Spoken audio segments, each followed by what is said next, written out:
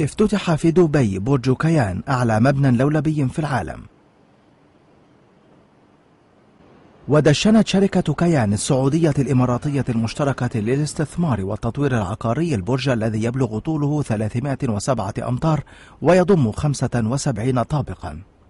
وقال أحمد الحاطي رئيس الشركة إن العمل انتهى في جميع الشقق السكنية بالبرج. عشان نكون موجودين على الخريطة ونتنافس مع مستوى التنافس الرائع اللي موجود في هذه المدينة. لابد أن نسوي شيء مميز ومن أهم الأشياء المميزة نسويها أن نطلع بمشروع يتناسب مع الموقع يتناسب مع الرؤية اللي نبغى نوصل فلذلك تم اختيار تصميم مختلف.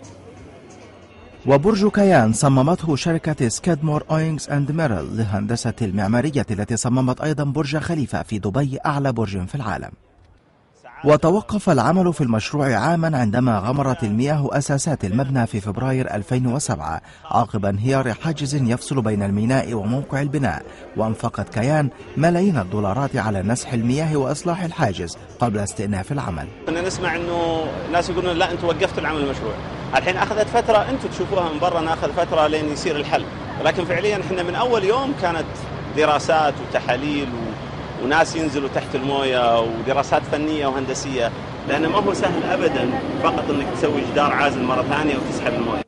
وذكر الحاطي أن نحو 80% من الوحدات السكنية في برج كيان قد بيعت بالفعل وأن الشركة لا تخشى الإفراط في المعروض في السوق وخصص طابقان في برج كيان للأنشطة التجارية والترفيهية وبلغت التكلفة الإجمالية للبرج 272 مليون دولار وائل جمال رويترز